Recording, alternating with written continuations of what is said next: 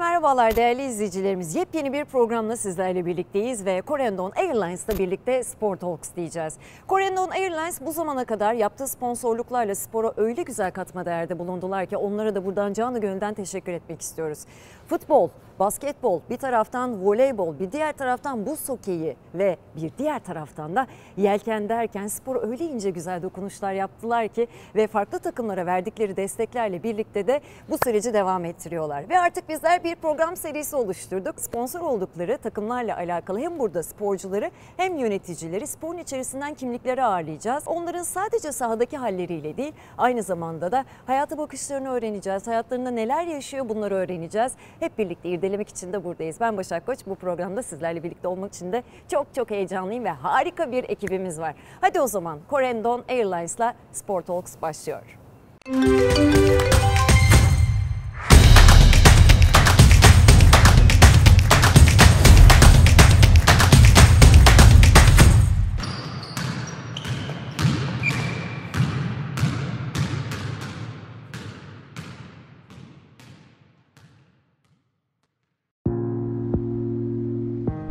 in the mountain where there is no basketball, and the first sport was skiing for me, and uh, I was really in love with skiing, and I was really successful. I would say that uh, some kind of destiny happened that I supposed to started football, and there was no clubs around my house, and I had to start something doing, and I touched the basketball. My first coach told me, "You don't know nothing about basketball, but you got a something that I didn't see so far. And I said, okay, let's let's try. And then that that sentence I remember for for entire my life.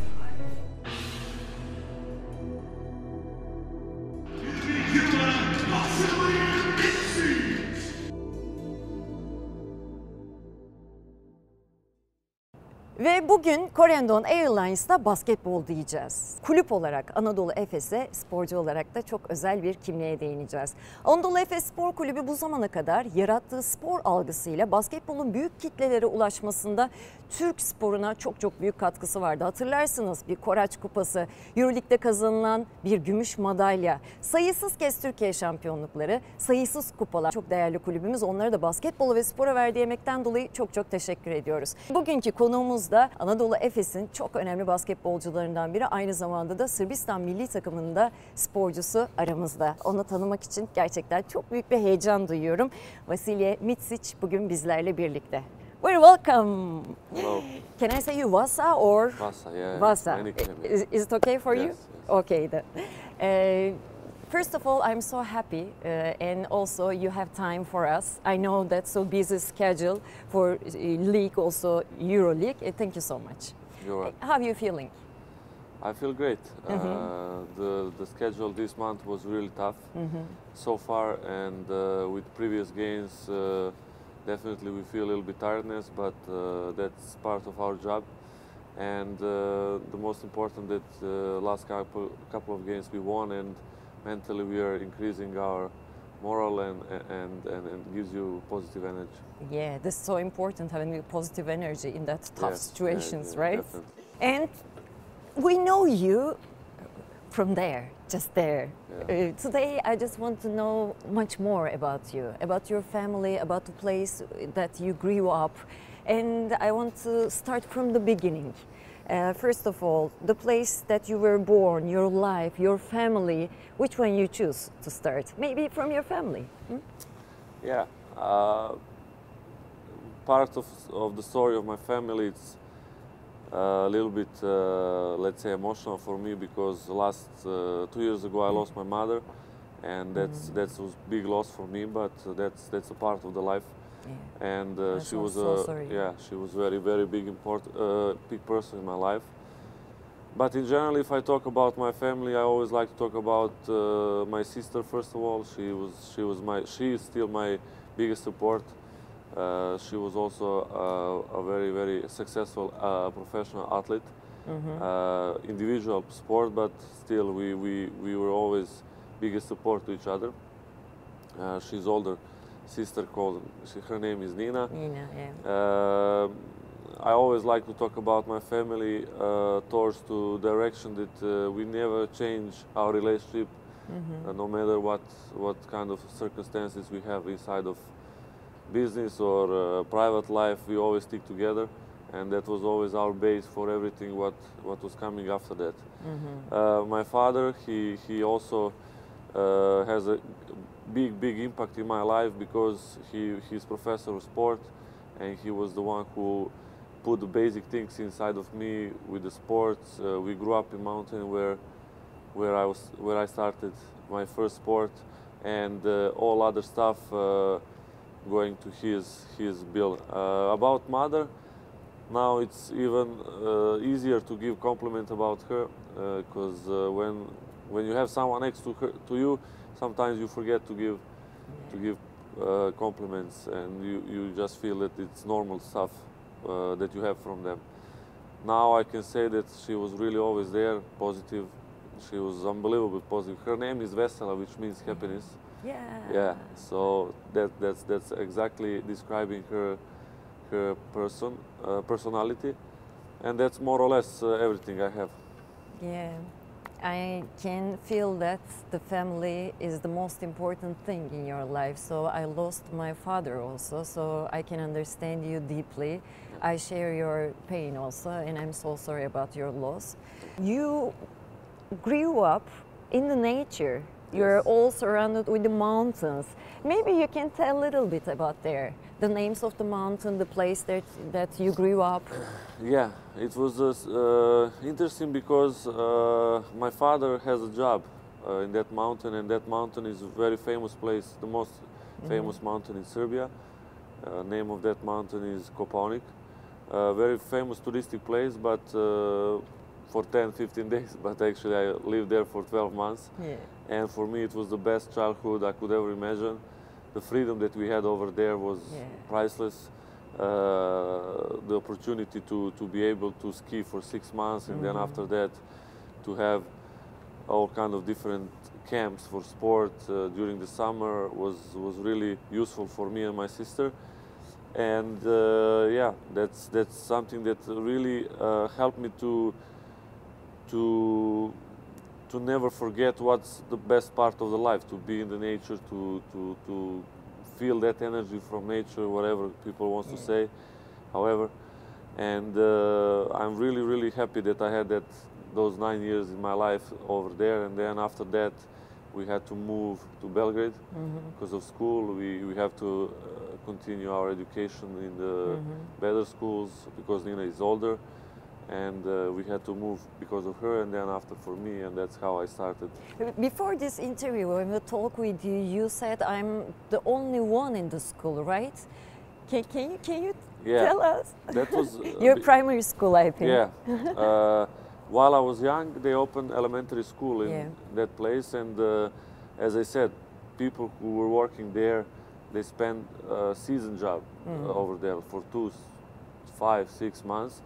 But we lived there for one year, and uh, we had to have teacher. You know, you had to Yeah. bring teacher Right.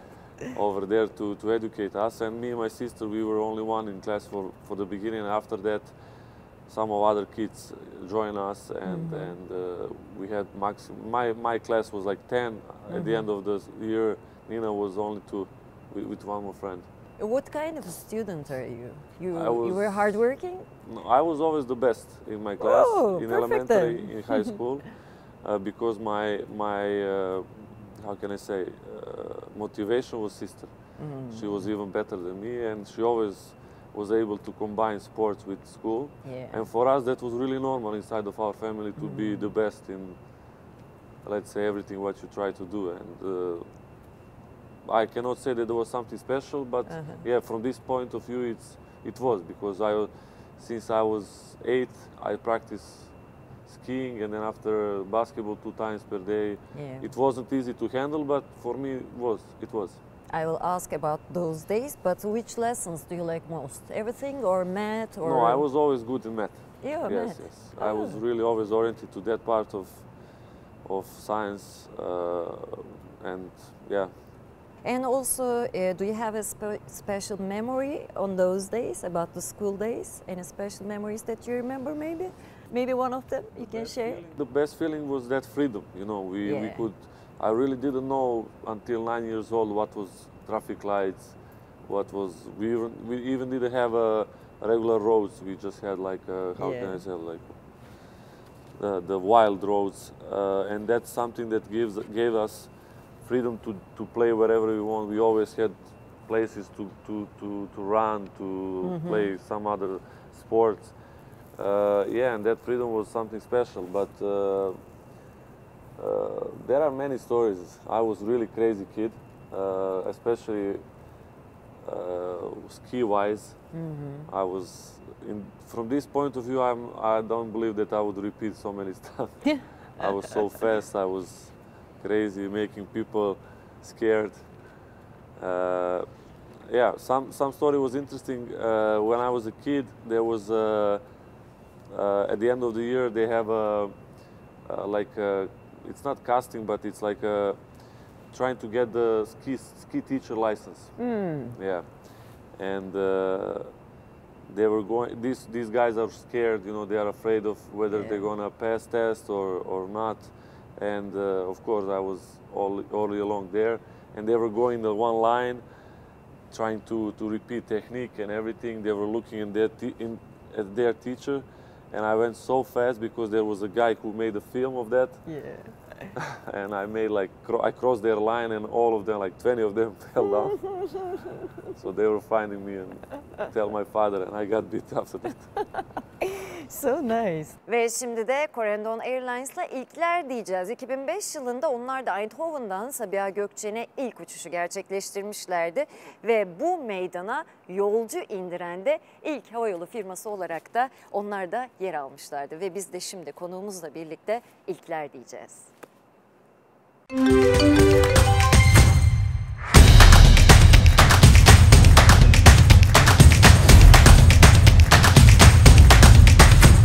I just want to start about your career because uh, when you're a junior, uh, you started in Serbia, in your country, and then in your professional career also, you made a really a great job in the Adriatic League, and then go to the Bayern Munich. uh, You have the Germany experience also, and come to Turkey and in Bursa Tofaş, and then Zalgiris Kaunas. You have a Lithuanian uh, club experience, and then Anadolu Efes. This is a really a tough an important experience. How you uh, feel that you can play basketball?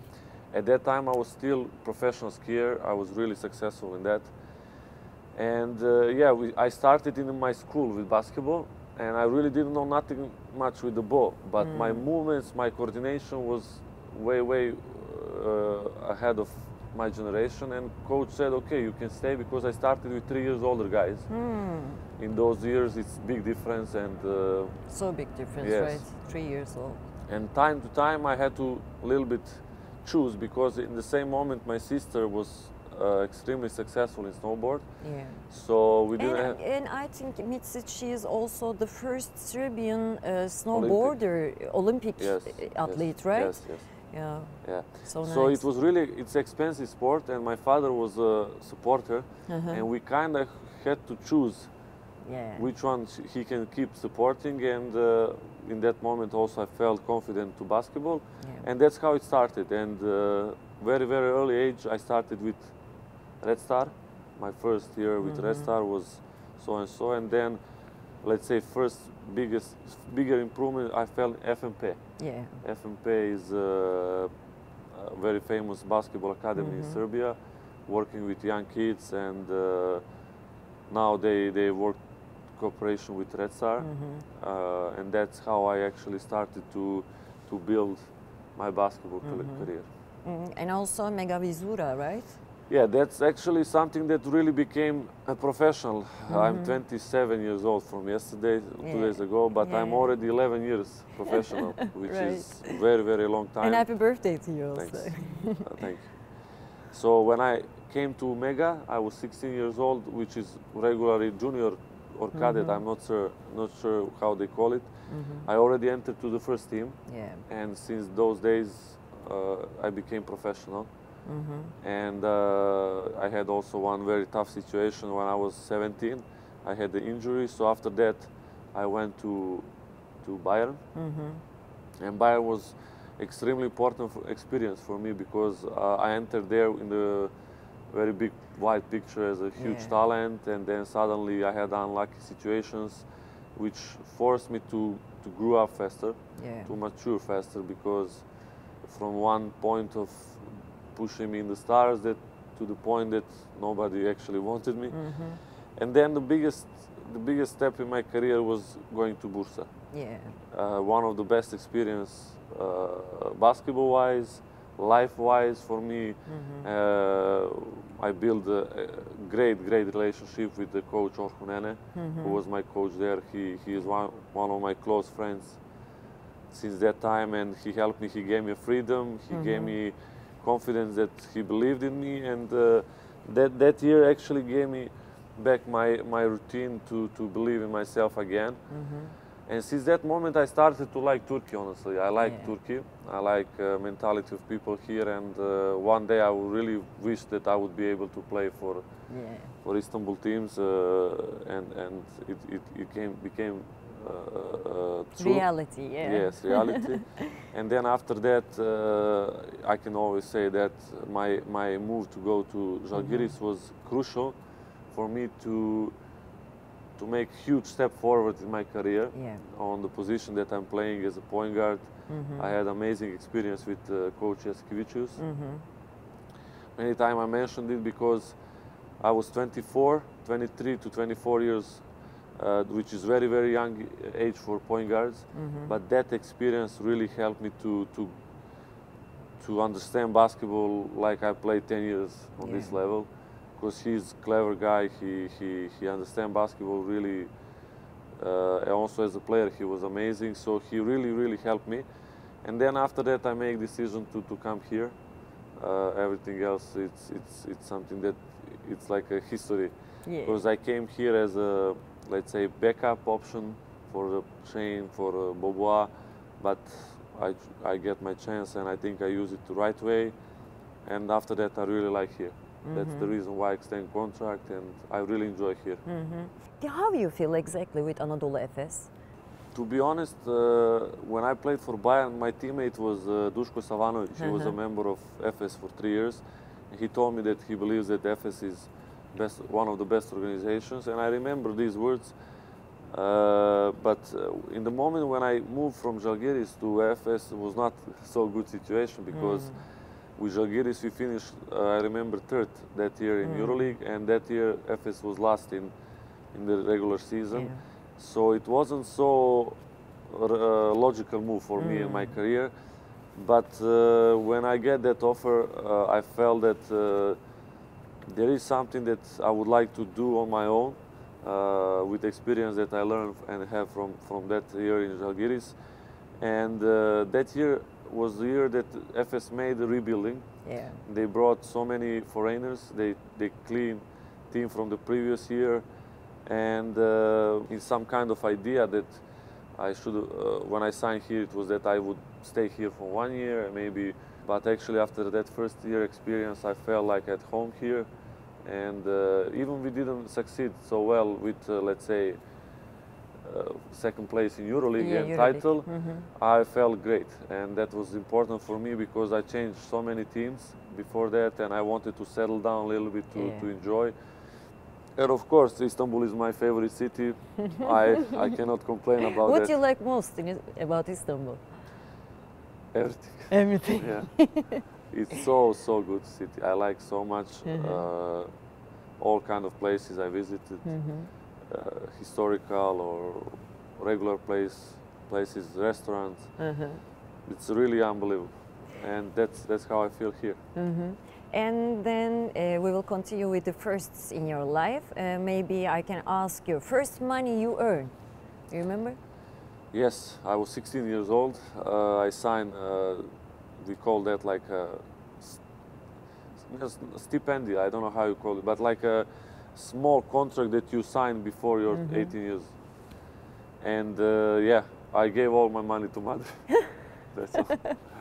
Okay, then we can talk about the first day with your national team. Eh? Yes. It's special also. Yes, that was special. Uh, I'm still uh, officially the youngest guy who ever entered Serbian national team since we call Serbia. Uh, that was a huge privilege for me. 2013 in uh, Slovenia, we had a European Championship Yeah. and uh, uh, experience that I felt that moment was uh, different. You know, we always like to play for our national team with the passion, with the love, no matter uh, how can I say what's what's inside of the federation or whether we have or no money. That's our culture about basketball, and that was special moment for me because I felt proud.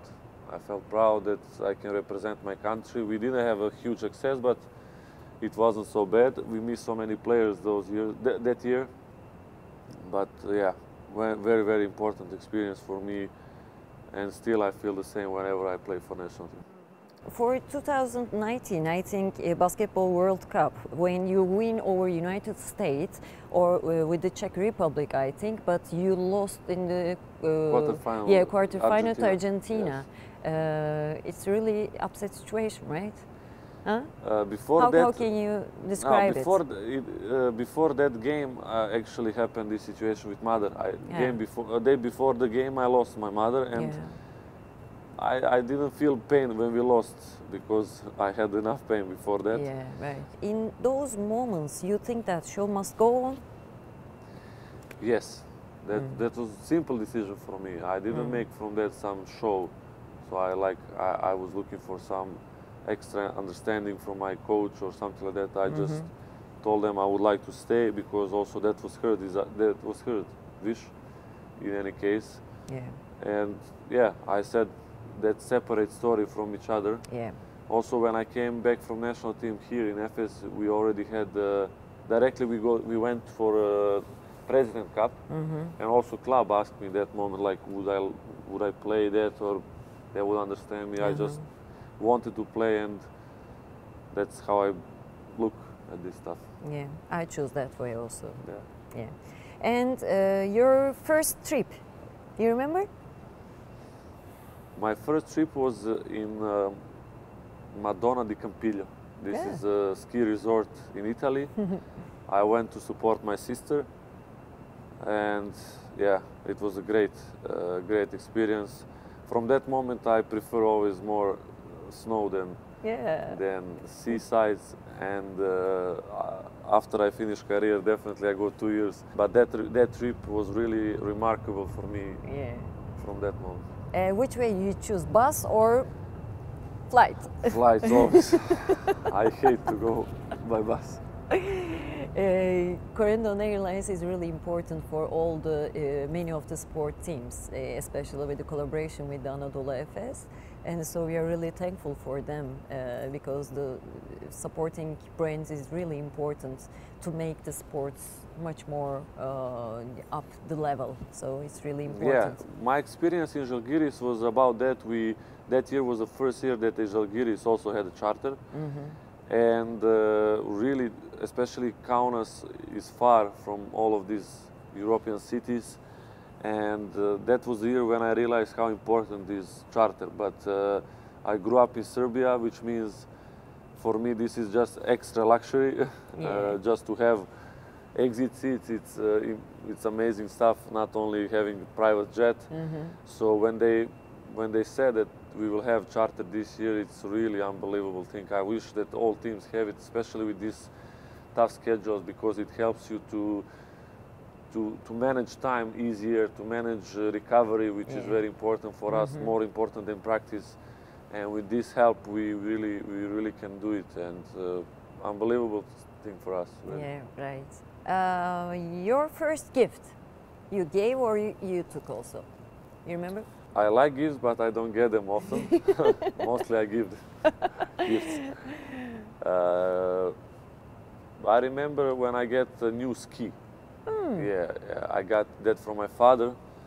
Uh, It was a special, unique ski for me, a race ski. Uh, it was unusual for that time that some kid can have it, because uh, we had regular skis as every kid, but Uh-huh. it's a part of my father's job, and he went for for that gift to buy in uh, Slovenia, Uh-huh. uh, and I remember I was really happy about that. Yeah, and first kiss? First kiss, I was really young, How old were you? ele- 11. 11. I don't know how it happened. Okay then. Thank you so much about our first in your lives part. Uh, thank you so much Vasa.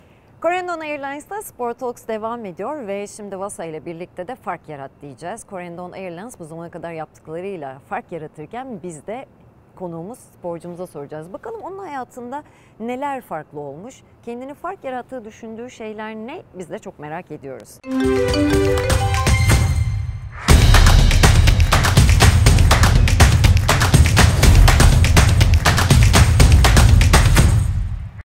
And Wasa, now I just want to ask you, uh, what are the things or the ones that uh, you think made a difference in your life? What can you say about it? The things that make a difference in my life is uh, uh, I try really to be honest to myself uh, in everything I do. Uh, basketball ways or life ways, uh, consistency is something that gives me always confidence because many times I don't see results so fast, but I don't give up on things that I start to do. And uh, if I look back uh, behind my back uh, and see what passed in my life, that's something that really always gave me confidence in di- difficult situations. Like uh, Yeah. I always believe that work pay, uh, pays off. Mm-hmm. Uh, also, I believe that uh, like the, the life has some some kind of line that is not straight. You have to have ups and downs, but as I said, consistency is something that gives you confidence that you can go through faster difficult situation because you repeat stuff that at the end of the day will give you give you success, and that's something that really helped me a lot in all circumstances in life. Yeah. Yeah. Uh, do you find those things uh, just by yourself, or you just explore while during these I career listen- steps? I Uh-huh. listen myself what Do you have idols? Like uh, more or less i like i like uh, to say i don't have idol because uh, i just don't feel that there is that, that i need to have idol to to force to make me Uh-huh. do something but i like uh, the way of some players behave the way of some players make their career one of them is djokovic Mm-hmm. as an athlete another one is diamantidis from Yeah. Panathinaikos. There's just people that I like to see as a wide picture, how they behave on the court, how they behave off the court. Uh, their achievements for me are not something deci- uh, which make this, this decisive uh, difference between players. I just like to see more their characteristic. But for me, it's, as I said, like when you feel when you feel energy from someone, it's something that makes difference for me. Like uh, when I when I because I know person in Yeah. per, per, personally I know uh, Djokovic. That guy is uh, different just because he's a random as a random guy Yeah. as any other people. He don't feel different. He don't behave different. Even he has the rights to do that because of success, but I Yeah. don't believe in that. So he is for me because of that. He is, and also he's so many years on the highest level of sport, which is very very difficult. Mm-hmm. I know from my experience how difficult it is to be, as I said, consistent in one in one uh, uh, job and especially on the highest level. Because Yeah. when you reach that level, everybody wants to move you, shake you, especially as you as individual athlete as he is. It's really not easy. And yeah, he is for me definitely one that I, I like to look. Yeah. He's also your friend, right? Yeah, we are family friends. We grew up in exactly same place, Kopaonik. They, that's how also he started. Uh-huh. There was a tennis camp and he started there, and everything else is history. And uh, I just want to ask you, your hair was longer before, and uh, beginning of the season, I mean, there was those who wonder why you cut it. Any special? There was many of them who thinks that I play better without long hair. Some uh, not so smart sentence that they would say. They were saying. I just liked. Uh, I like more with long hair because I like curlies, and uh, Yeah. me and my sister we have that kind of hair. She doesn't like that. I don't know why, but I like it, and uh, uh, definitely after it's so hard to handle when you play. You have to manage before the game. You have to pay attention about that 30 40 minutes just to make the hair correctly i don't i don't have this time Yeah. to waste and i cut it Yeah, I can understand. Any special uh, music that you like to listen? my biggest surprise uh, and biggest um, uh, how can i say uh, okay was surprise and, and, and i was shocked how Mm-hmm. good singer is bocelli i had the pleasure to listen him in kaunas in Oh, concert Bocelli. Yes, this is something really different. I visit some concerts before that. Also, I watch Queen with the new singer. I Mm. listen uh, also uh, Sting. I listen Sting. Think. But Bocelli is different. Yeah. Any Turkish singer or I listen sometimes with Turkish players, Turkish music. I like it. Similar uh, Yeah. style of like a Serbian yeah. music. I like that music in Serbian. Uh, I know Tarkan. I know some songs. I listen always when I have therapy. My physio always plays some Turkish song. Yeah. Be- before the games. When I have massage, he always plays some Turkish, and we enjoy. And your jersey number 22. Is it special for you? My favorite number is 13 actually, also Hmm. because uh, of uh, Diamantidis, because of Jasikevicius, my Yeah. ex-coach. But I didn't want to wear anymore because of some maybe stupid reason. and then when I came to, also when I came to Tofaş, that was already busy jersey, Yeah. and the other number is nine, and then I make combine 13 and 9 and I said 22. now I like it. I like yes, a so lot. special then. I like it. Okay then perfect. Corendon Airlines'la birlikte havaları uçuyoruz ve şimdi de Vasa'ya soracağız. Bakalım hayatında önem ifade eden en havalı sözü hangisiymiş?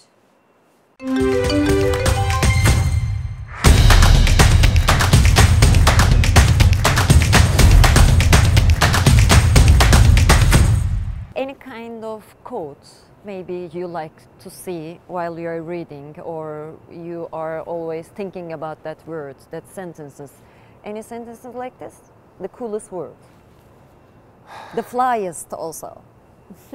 I like to be always same person in every Hmm. situation. Like uh, for me, to stay on the ground, it's uh, not easy, uh, especially when I saw a lot of examples while I was young, how easy people change themselves uh, according to success or not success, not only positively or let's say because of success, many people lost their their profile after some fail, and that's something that I always try to to to keep inside of me, no matter who is around me. Like uh, no matter of what coach speak about me, no matter what friends thinks about me, I just believe in me, and I believe that uh, I, I do things correctly with mistakes and this this is something that I believe also my teammates feel the most from me.